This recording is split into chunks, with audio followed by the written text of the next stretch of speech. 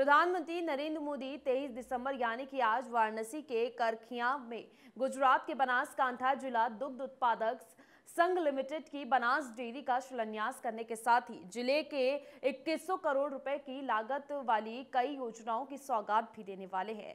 BJP के महानगर अध्यक्ष विद्यासागर राय ने बताया है कि प्रधानमंत्री अपने इस दौरे पर 2100 करोड़ की 25 परियोजनाओं की सौगात आज काशी को देने जा रहे हैं।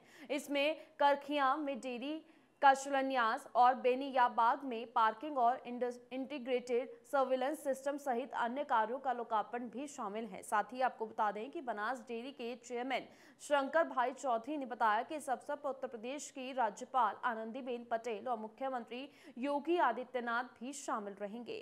साथ ही जानकारी के मुताबिक इस प्रकल्प में वाराणसी, जौनपुर, मछली शहर, चंदौली भदोई गाजीपुर, मिर्जापुर और आजमगढ़ के एक हज़ार गाँव के किसानों को लाभ हो होगा। किसानों को उनके दूध के बदले आठ हज़ार से दस हज़ार रुपए प्रति महीने का मूल्य तक मिलेगा। उन्होंने कहा कि इसमें 750 लोगों को प्रत्यक्ष रोज़गार 2350 लोगों को अनुसांगिक कार्यों में और लगभग दस हज़ार परिवारों को गाँव में रोज़गार मिलने की भी संभावना है।